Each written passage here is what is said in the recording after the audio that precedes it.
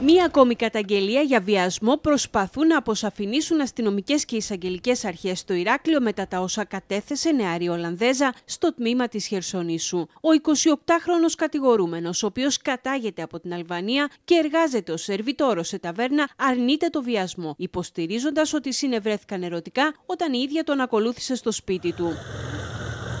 Το νέο περιστατικό το οποίο προκαλεί αναστάτωση εκτυλίχθηκε στην περιοχή των Μαλίων, όπου η νεαρή Ολλανδέζα έφτασε για διακοπές μαζί με τις φίλες της, με τις οποίες πήγε δύο φορές για φαγητό στην ταβέρνα όπου εργάζεται ο 28χρονος. Θύμα φαίνεται ότι προσκάλεσε τον κατηγορούμενο να διασκεδάσουν μαζί στο μπάρο όπου βρισκόταν τη νύχτα με τις φίλες της, ενώ λίγο αργότερα κατέληξαν στο σπίτι του. Εκεί, σύμφωνα με όσα κατέθεσε η Ολλανδέζα, παρότι ζήτησε να αποχωρήσει, την καθήλωσε και τη βίασε παρά την προσπάθειά της να αντιδράσει.